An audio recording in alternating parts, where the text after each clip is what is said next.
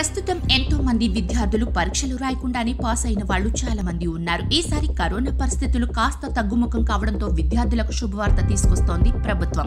కనీస మార్కులతో intermediate pass అయిన విద్యార్థులకు ఎంసెట్ ర్యాంకులు అర్హులుగా ప్రకటించాలని ఉన్నత విద్యా మండలి ఈ నిర్ణయాన్ని తీసుకున్నట్లు తెలుస్తోంది. దీనివల్ల ప్రస్తుతం ఇంటర్మీడియట్ ద్వితీయ సంవత్సరం చదువుతున్న విద్యార్థులు ఈ ఏడాది పరీక్షలు రాస్తున్న ప్రతి ఒక్కరికి కూడా ఎంసెట్ అర్హత లభిస్తుందట.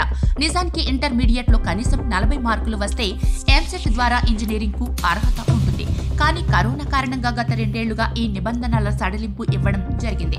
ఇక పదవ తరగతి పరీక్షలు లేకుండానే గత ఏడాది ఇంటర్మీడియట్ మొదటి సంవత్సరానికి విద్యార్థులను ప్రమోట్ చేయడం జరిగింది.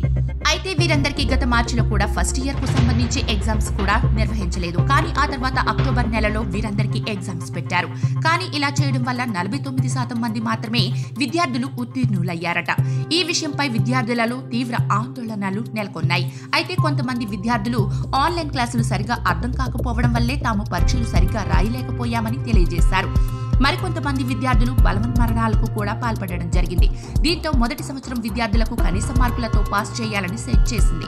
ఎక్కువ మంది నలభై శాతం మార్కులను సాధించడమే కష్టంగా ఉంటుందని అందుకోసమే ముప్పై ఐదు మార్కులతోనే ఉత్తీర్ణులైన విద్యార్థులకు ఎంసెట్ ద్వారా సీట్లు పొందేందుకు ఈ అవకాశాన్ని కల్పించాలని తాజా నిర్ణయం తీసుకుంది.